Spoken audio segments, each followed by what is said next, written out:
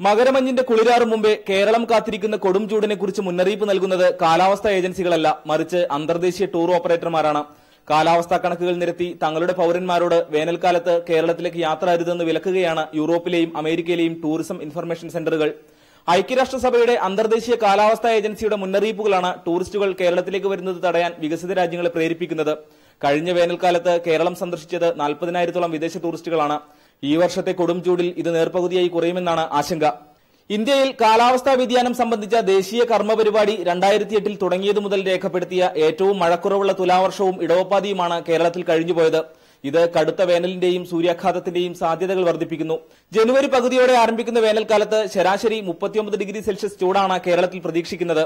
എന്നാൽ പശ്ചിമഘട്ട മലനിരകളോട് ചേർന്നുള്ള പ്രദേശങ്ങളിൽ ഇതിന്റെ ഇരുപത് ശതമാനം വരെ ചൂട് അധികമായിരിക്കും. കാലാവസ്ഥാ വ്യതിയാനം കേരളത്തിലെ ടൂറിസത്തെ പ്രതികൂലമായി ബാധിച്ചിട്ടുണ്ട്. പ്രത്യേകിച്ചും ഏറ്റവും കൂടുതൽ ടൂറിസ്റ്റുകൾ വരുന്ന പെരിയാറ് കുമരകം കോവളം പോലുള്ള ഭാഗങ്ങളിൽ പോലും കാലാവസ്ഥാ വ്യതിയാനം പിന്നെ അൺഹൈജീൻ കണ്ടീഷൻസ് അത് വളരെ പ്രധാനപ്പെട്ട ഒരു കാര്യമാണ്.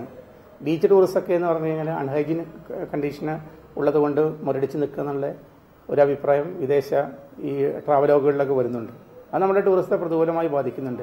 സുഖകരമായ വേനൽക്കാലം പ്രതീക്ഷിച്ച് യൂറോപ്പിൽ നിന്നും കേരളത്തിലേക്ക് കൂടുതൽ സഞ്ചാരികൾ എത്തുന്ന കാലമാണ് ജനുവരി മുതൽ മെയ് വരെയുള്ള മാസങ്ങൾ.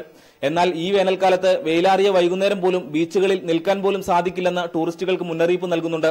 ഹിൽ സ്റ്റേഷനുകളിലും കായൽ യാത്രയിലും കനത്ത ചൂടും പൊടിമഞ്ഞും മൂലം അസുഖങ്ങൾ ബാധിക്കാമെന്നും മുന്നറിയിപ്പുണ്ട്.